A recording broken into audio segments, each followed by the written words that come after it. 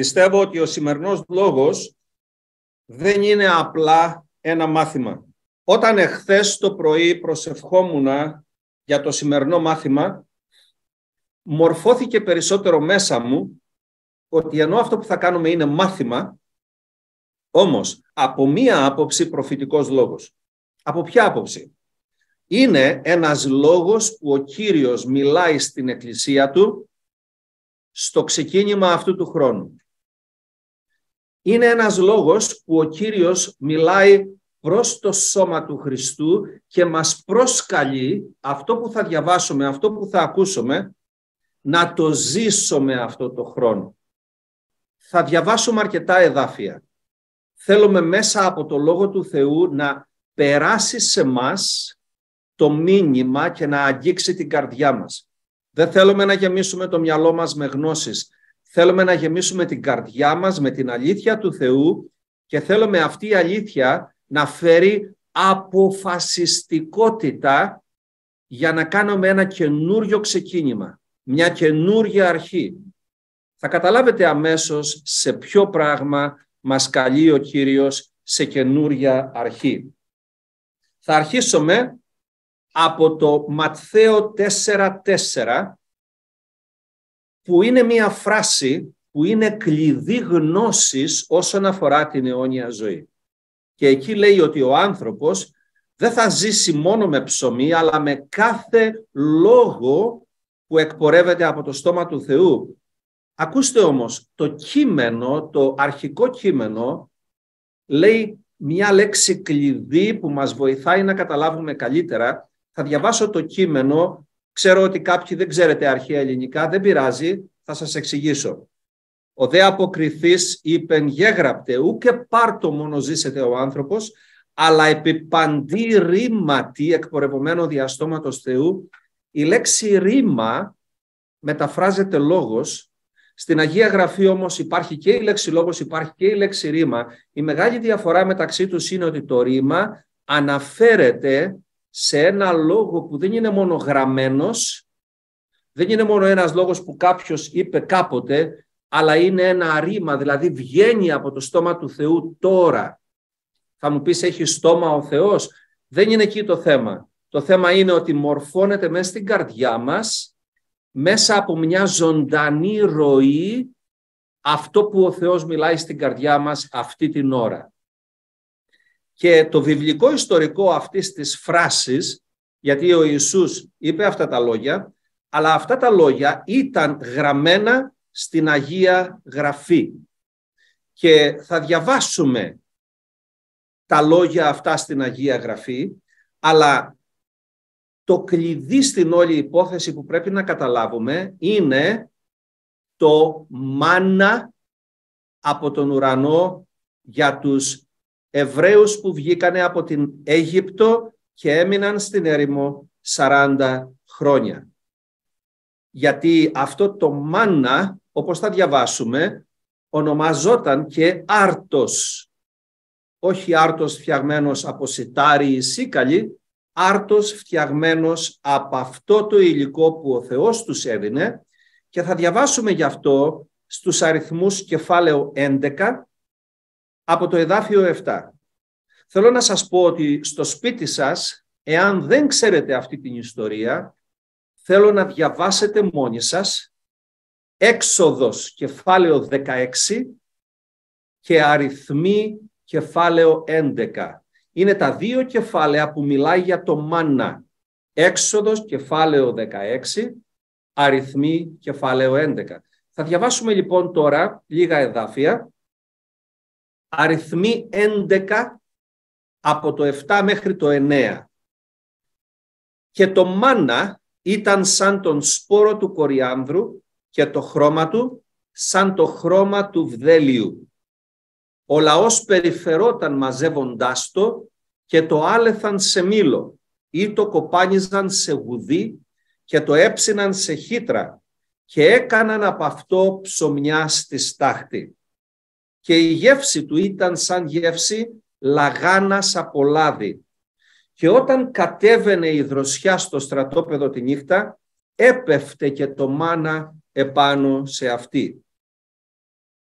Έτσι λοιπόν ο Θεός έδινε τροφή στο λαό του μέσα στην έρημο. Στην έξοδο 16.35, έξοδος 16.35 λέει «Και οι γη Ισραήλ έτρωγαν το μάνα για 40 χρόνια μέχρι ότου ήρθαν σε κατοικημένη γη, έτρωγαν το μάνα μέχρι ότου ήρθαν στα σύνορα της γης Χαναάν. Εάν κάποιος δεν ξέρει τι θα πει η λέξη μάνα, και το λέω επίτηδες μάνα και δεν το λέω μάνα, γιατί είναι με δύο νη και είναι δύο λέξεις, μάνα και θα πει τι είναι τούτο, γιατί όταν το πρωτοείδανε οι Εβραίοι, είπανε στα εβραϊκά «Μάνα, τι είναι τούτο» Οπότε έτσι έμεινε η ονομασία σε αυτό το μοναδικό υλικό που υπήρξε τότε και δεν υπάρχει έκτοτε ποτέ πια. Τώρα όμως θέλουμε να δούμε ποια είναι η πνευματική σημασία της ιστορίας του Μάνα και τι μας μαθαίνει η Αγία Γραφή εμάς, που είμαστε οι αναγεννημένοι πιστοί στο Θεό διαμέσου του Ιησού Χριστού και είμαστε όχι στην Παλαιά Διαθήκη, αλλά στην οικονομία της Καινής Διαθήκης. Διότι κάθε τι που είναι γραμμένο στη Γραφή αφορά και εμάς. Τη φράση λοιπόν που μίλησε ο Ιησούς στο διάβολο στο κατά Ματθαίο 4.4 που διαβάσαμε, τη βρίσκουμε στο Δευτερονόμιο κεφάλαιο 8. Λοιπόν, από το εδάφιο 2. Δευτερονόμιο 8 από το 2 και θα θυμάσαι ολόκληρο το δρόμο στον οποίο σε οδήγησε ο Κύριος ο Θεός σου τα 40 αυτά χρόνια στην έρημο για να σε ταπεινώσει, για να σε δοκιμάσει, για να γνωρίσει τα όσα είναι στην καρδιά σου. Αν θα φυλάξεις τις εντολές του ή όχι.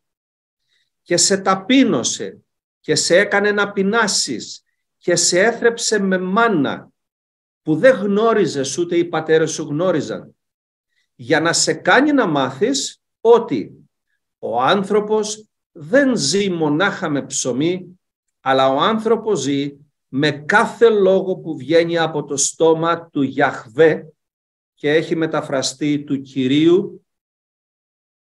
Στο Ματθαίο 4.4 η αναφορά λέει στον το στόμα του Θεού το αρχικό κείμενο όμως λέει από το στόμα του Γιαχβέ, δηλαδή του ίδιου που μίλησε στον Αβραάμ και του είπε «Εγώ είμαι αυτός που είμαι».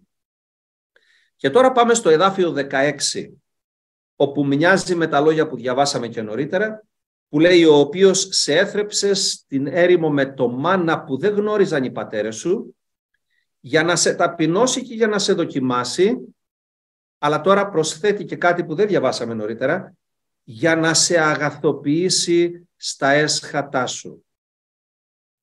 Ακούστε τώρα πριν προχωρήσουμε παρακάτω. Έχετε προσέξει ότι ο παραλληλισμός της ιστορίας των Εβραίων που ήταν στην Αίγυπτο εχμάλωτοι πέρασαν από το νερό και απελευθερώθηκαν αφότου πρώτα με το αίμα των αμνών που έβαλαν πάνω στους παραστάτες των θυρών γλίτωσαν από το θάνατο που ήρθε στην Αίγυπτο. Έμειναν στην έρημο 40 χρόνια, αλλά είχαν ένα στόχο να κατακτήσουν τη γη της υπόσχεσης πέρα από την Ιεριχώ. Ο ίδιος παραλληλισμός ισχύει για μας. Το αίμα του αμνού του Θεού μας γλίτωσε από την επίσκεψη του θανάτου μέσα από το νερό του βαπτίσματος ελευθερωθήκαμε από τη σκλαβιά της αμαρτίας και αρχίσαμε να βαδίζουμε μεν με τον Θεό, αλλά ουσιαστικά σε μία έρημο. Και νομίζω κάθε πιστός έχει γνωρίσει ότι ενώ όσο ήμασταν στον κόσμο, ήμασταν μέρος του κόσμου, όταν πιστέψαμε στο Χριστό άρχισε να έρχεται ένας αποχωρισμός από τον κόσμο. Και το πρώτο πράγμα που εργάζεται ο Θεός αφότου έρθει ο αποχωρισμός από τον κόσμο είναι η ταπείνωση και η δοκιμασία. Έρχονται λοιπόν δοκιμασίες και έρχεται ταπείνωση αφότου πιστέψουμε στο Χριστό. Και είναι η περίοδος που δεν μπορούμε πια να τρεφόμαστε από το πνεύμα του κόσμου, δεν μπορούμε, αυτοί δεν μπορούσαν πια να τραφούν με τα φαγητά της Αιγύπτου, Είχαν μάθει να τρώνε τα φαγητά της Αιγύπτου και ξαφνικά τους έλειψαν. Και τώρα τι θα φάμε, μας έλειψαν τα φαγητά της Αιγύπτου. Αλλά ήταν ο Κύριος σαν να τους λέει, τώρα θέλω να μάθετε να τρέφεστε με μία άλλη τροφή που κατεβαίνει από τον ουρανό. Το ίδιο πράγμα ισχύει για μας πνευματικά. Από την ώρα που ερχόμαστε στο Χριστό πρέπει να μάθουμε να σταματήσουμε να τρεφόμαστε από τα τρόφιμα του κόσμου. Και δεν μιλάω κυριολεκτικά για τα τρόφιμα που τρώει το στόμα μας, μιλάω για οτιδήποτε ο κόσμος έχει να μας δώσει που γεμίζει την καρδιά μας, το μυαλό μας, τα συναισθήματά μας. Πρέπει να μάθουμε να τρεφόμαστε με το μάνα από τον ουρανό, που και εμείς με μάνα τρεφόμαστε. Αυτοί τράφηκαν με φυσικό μάνα, σε μας ο Κύριος δίνει ένα άλλο μάνα. Τι είναι αυτό το άλλο μάνα που μας δίνει ο Κύριος για να τραφούμε όταν ξεφύγουμε από τη σκλαβιά της Αιγύπτου; Για να το καταλάβουμε θα πάμε στον Ιωάννη, το Ευαγγέλιο του Ιωάννου, κεφάλαιο 6. Και θα διαβάσουμε από το 29. Ο Ιησούς αποκρίθηκε και τους είπε «Τούτο είναι το έργο του Θεού, να πιστέψετε σε Αυτόν τον οποίο Εκείνος απέστειλε». Τότε του είπαν «Ποιο σημείο λοιπόν κάνεις εσύ για να δούμε και να πιστέψουμε σε σένα» τι εργάζεσαι, δηλαδή με λίγα λόγια, τι έργο θα κάνεις, όχι τι εργάζεσαι, ποια είναι η δουλειά σου, τι έργο θα κάνεις για να δούμε και να πιστέψουμε; Και απαντάει ο Ιησού, όχι, συνεχίζουν στο 31 και λένε «Οι πατέρες μας έφαγαν το μάνα μέσα στην έρημο όπως είναι γραμμένο, άρτον από τον ουρανό έδωσε σε αυτούς να φάνε». Αυτοί έφαγαν φυσική τροφή, έτσι. Εδώ τώρα τους απαντάει ο Ιησούς, εδάφιο 32. Σας διαβεβαιώνω απόλυτα δεν σας έδωσε τον άρτο από τον ουρανό ο Μωυσής, αλλά ο πατέρας μου σας δίνει τον άρτο τον αληθινό από τον ουρανό. Επειδή ο άρτος του Θεού είναι αυτός που κατεβαίνει από τον ουρανό και δίνει ζωή στον κόσμο. Του είπαν λοιπόν Κύριε δώσε μας πάντοτε τούτο τον άρτο. Αυτό το μυαλό τους είναι στο φαγητό έτσι. Και τους απαντάει ο Ιησούς 35. Εγώ είμαι ο άρτος της ζωής. Με άλλα λόγια, εγώ είμαι το μάνα που κατεβαίνει από τον ουρανό. Όποιος έρχεται σε μένα δεν θα πεινάσει και όποιος πιστεύει σε μένα δεν θα διψάσει ποτέ. Και συνεχίζομαι τώρα στο 53 εδάφιο. Σας διαβεβαιώνω απόλυτα, αν δεν φάτε τη σάρκα του Ιού του ανθρώπου και δεν πιείτε το αίμα του, δεν έχετε μέσα σας ζωή. Όποιος τρώει τη σάρκα μου και πίνει το αίμα μου έχει αιώνια ζωή και εγώ θα τον αναστήσω κατά την έσχατη ημέρα επειδή η σάρκα μου αληθινά είναι τροφή και το αίμα μου αληθινά είναι πόση. Όποιος τρώει τη σάρκα μου και πίνει το αίμα μου μένει σε ενότητα με μένα και εγώ σε ενότητα με αυτόν. Όπως με απέστειλε ο πατέρας που ζει. Προσέξτε, ο πατέρας που ζει. Αυτό το που ζει είναι ουσιαστικά το προσδιοριστικό του Γιαχβέ. Είμαι αυτός που είμαι, είμαι αυτός που υπάρχει, είμαι αυτός που ζει.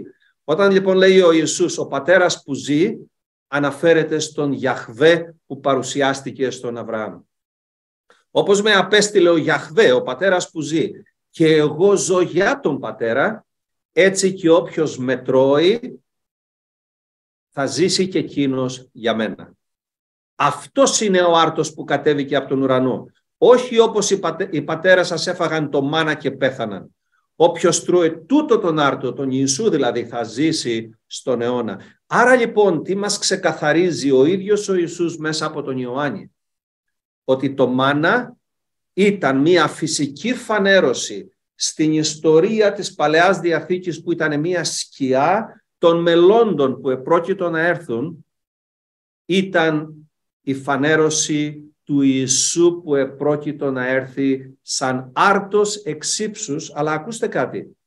Ο Ιωάννης επίσης στο ξεκίνημα του Ευαγγελίου του τι μας μαθαίνει; Ότι ο Ιησούς ήταν, ποιος θα μου πει, τι ήταν ο Ιησούς στο ξεκίνημα; Ποιος θυμάται τι λέει στο Ευαγγέλιο Ιωάννη; Ήταν ο Λόγος. Εν αρχή είναι ο Λόγος και ο Λόγος είναι προς τον Θεό. Και αυτός ο Λόγος μας εξηγεί ο Ιωάννης ήταν και είναι το φως που λάμπει στον κόσμο, ήταν και είναι αυτός που φανερώθηκε με μορφή ανθρώπου, με μορφή δούλου. Ήταν και είναι ο Ιησούς Χριστός. Ο Λόγος του Θεού ενανθρώπισε και έγινε άνθρωπος ο Ιησούς Χριστός και αυτός ήταν και είναι το φως του κόσμου. Ο Λόγος, φως, Ιησούς, ο Άρτος, το μάνα. Με φυσικό ψωμί και να φάμε θα πεθάνουμε. Δεν θα ζήσει μόνο με φυσικό ψωμί ο άνθρωπος. Χρειαζόμαστε το λόγο, ποιο λόγο; Αυτό που μιλάει αυτός που ζει, ο πατέρας που ζει τώρα, σήμερα, σε σένα και σε μένα. Ακούστε, θα σας το πω με ένα παράδειγμα και πιστεύω θα το καταλάβετε. Υπάρχει ο λόγος που είναι γραμμένος στην Αγία Γραφή. Αυτός είναι λόγος από μόνος του. Είναι κάτι που έχει υποθεί και είναι καταγραμμένο και είναι ένας λόγος, γραμμένος λόγος. Αυτός ο λόγος μας μαθαίνει η Εβραίους 4.12 από μόνος του είναι ζωντανός, είναι κοφτερότερος από κάθε δίστομη μάχαιρα. Είναι και ένας σπόρος που άμα πέσει μέσα στην καρδιά μας, αν η καρδιά μας είναι καλό χώμα, θα καρπίσει, θα γίνει δέντρο, θα βγάλει καλό καρπό. Ακούστε όμως, ενώ ο ίδιος ο λόγος είναι μαχαίρι, ενώ ο ίδιος ο λόγος έχει μέσα του ζωή, Ξέρετε πως οι άνθρωποι διαβάζουν την Αγία Γραφή, διαβάζουν το Λόγο και οι ίδιοι παραμένουν νεκροί. Νεκροί πνευματικά. Υπάρχουν άνθρωποι που διαβάζουν το Λόγο του Θεού και βεβαίως δεν πιστεύουν τίποτα από αυτά που διαβάζουν. Υπάρχουν άνθρωποι που διαβάζουν και δεν φωτίζεται η διάνοιά τους. Δεν ακούνε τη φωνή του Θεού. Δεν ζωντανεύει μέσα τους ο σπόρος. Θα μου πεις οι καρδιές τους είναι κλειστές, το λέει η Γραφή. Επίσης θα μου πεις μπορεί να είναι σκληρό χώμα και να μην αφήνει να μπει μέσα σπόρος. Μπορεί. Αλλά για μένα αυτό που τώρα θέλω να καταλάβεις είναι το εξής. Ο λόγος από μόνος του χωρίς την υπερφυσική ενέργεια του Πνεύματος του Αγίου. Ο λόγος από μόνος του παραμένει για μας απλά λόγος. Πάρε παράδειγμα το λόγο περισσοτηρίας. Μας λέει ο Παύλος στη Ρωμαίους κεφάλαιο 10. Δεν είναι μακριά από σένα ο λόγος, είναι μέσα στο στόμα σου, είναι στην καρδιά σου. Αν πιστέψεις στον Ιησού Χριστό, αν πιστέψεις ότι είναι Κύριος, ότι ο Θεός τον ανέστησε εκ νεκρών, θα σωθείς. Είναι λόγος σωτηρίας. Έχουμε ολόκληρο το Ευαγγέλιο. Το Ευαγγέλιο μας φέρνει στη σωτηρία από το θάνατο, στη σωτηρία από την αμαρτία. Όμως, πολλοί το ακούνε, πολλοί το διαβάζουν, αλλά δεν γνωρίζουν τη σωτηρία. Δεν έρχεται η πνευματική αναγέννηση. Άρα λοιπόν, ο λόγος από μόνος του δεν οδηγεί απαραίτητα στην αιώνια ζωή. Τι χρειάζεται για να οδηγήσει ο λόγος στην αιώνια ζωή; Πρέπει να τον φάμε να τον πιούμε και να μεταβολιστεί μέσα μας. Πρέπει να γίνει για μας ρήμα Θεού.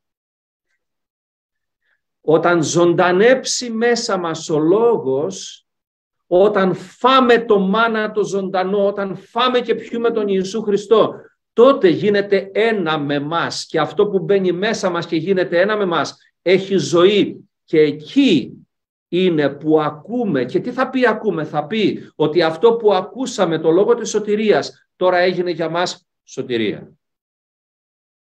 Δεν θα ζήσει ο άνθρωπος μόνο με τον άρτο που μπορεί να είναι ο λόγος. Δεν θα ζήσει ο άνθρωπος μόνο με το φυσικό κομμάτι του φαγητού, με το φυσικό κομμάτι της μελέτης του λόγου. Ο άνθρωπος θα ζήσει με κάθε ζωντανή φωνή που θα απελευθερωθεί από το στόμα του Θεού, δηλαδή που το Άγιο Πνεύμα θα ζωντανέψει μέσα μας. Έχουμε ανάγκη να ακούσουμε τη φωνή του Κυρίου. Και βεβαίως τη φωνή του Κυρίου μπορούμε να την ακούσουμε και μέσα από το Λόγο, μελετώντας το Λόγο, το Άγιο Πνεύμα δίνει ζωή στο Λόγο, ζωντανεύει ο Λόγος μέσα μας και γίνεται για μας ρήμα. Το ζωντανό λόγο μπορούμε να τον ακούσουμε και χωρίς την Αγία Γραφή, καθώς προσευχόμαστε, καθώς λατρεύουμε. Ξαφνικά ο Κύριος μας μιλάει. Και όταν λέω μας μιλάει, μπορεί να μιλήσει στο αυτί μας. Μπορεί να μην ακούσουμε φωνή. Μπορεί να μιλήσει στην καρδιά μας. Που είναι ο πιο βασικός τρόπος με τον οποίο μιλάει ο Θεός. Μιλάει καρδιά με καρδιά. Άβυσος καλεί άβυσο τα βαθιά του Θεού, στο βάθος της ψυχής που είναι το πνεύμα του ανθρώπου. Και ακούστε, για μένα ο πιο σίγουρος και σταθερός ζωντανός λόγος του Θεού, ξέρετε ποιος είναι; Αυτός που είτε ακούσω με τα αυτιά μου κάτι είτε δεν ακούσω με τα αυτιά μου κάτι, ξαφνικά μέσα μου μορφώνεται σαν μία πραγματικότητα την οποία την ξέρω με τόση σιγουριά που ακόμα και να μου κόψεις το κεφάλι δεν μπορείς να μου αφαιρέσεις αυτή τη γνώση. Να το πω με παράδειγμα. Κάποτε άκουγα ότι ο Ιησούς αναστήθηκε από τους νεκρούς και όποιοι πιστεύουμε σε Αυτόν και εμείς θα αναστηθούμε κατά την έσχατη ημέρα. Ότι δεν θα γνωρίσουμε θάνατο αλλά θα περάσουμε από το θάνατο της σάρκας μας στην αιώνια ζωή. Τα ήξερα όλα αυτά. Αν με ρωτούσες εκείνα τα χρόνια, Γιώργο, πραγματικά πραγματικά το πιστεύεις, δεν έχεις καμιά αμφιβολία, θα σου έλεγα εντάξει, ομολογώ ότι δεν μπορούμε και να είμαστε 100% σίγουροι. Έτσι θα έλεγα τότε. Όμως πριν από χρόνια διάβαζα τη γραφή. Και καθώς διάβαζα τη γραφή, βασικά τη μελετούσα να πω σωστά, μελετούσα τη γραφή και ξαφνικά νιώθω κάτι στην καρδιά μου και θυμάμαι, το, το έκανα πραγματικά, σηκώθηκα από την καρέκλα μου και άρχισα να χοροπηδάω μέσα στο σπίτι και φώναζα δεν θα πεθάνω ποτέ. Δεν θα πεθάνω ποτέ. Το ξέρω ότι δεν θα πεθάνω ποτέ. Το θυμάμαι. Τι έγινε; Μορφώθηκε μέσα μου η εκατό, τα εκατό βεβαιότητα. Έχω ήδη μεταβεί από το θάνατο στη ζωή και ακόμα κι αν η σάρκα μου αποβιώσει εγώ θα συνεχίσω να ζω και μάλιστα στην αιωνιότητα. Όπως λέει και ο Απόστολος Παύλος στη Β' Κορινθίους κεφάλαιο 5 ότι δεν είναι ότι βιάζομαι να φύγω από αυτό το γήινο σκήνομα, αλλά όταν φύγω, όταν το γήινο σκήνομα χαλάσει, λέει ο Παύλος, δεν θα βρεθώ γυμνός, θα ντυθώ το ουράνιο κατοικητήριο που δεν το έχουν φτιάξει ανθρώπινα χέρια, είναι αχυροποίητο και θα ζήσω στην αιωνιότητα. Αυτό ήταν για μένα σε εκείνη τη φάση ρήμα ζωντάνεψε μέσα μου ο λόγος της αιώνιας ζωής. Ακούστε όμως κάτι. Ενώ θα μπορούσα σε αυτή τη φάση να τελειώσω το μάθημα, όπως σας είπα, το Άγιο Πνεύμα άρχισε να μου μιλάει χθες για το τι να διδάξω και μετά εξελίχθηκε και έγινε και ένα είδος προφητικού λόγου. Όχι ακριβώς έτσι λέει ο Κύριος, αλλά με την έννοια ότι το Άγιο Πνεύμα θέλει να μας πει κάτι, να μας μεταδώσει κάτι και να μας προσκαλέσει σε κάτι στο καινούριο χρόνο.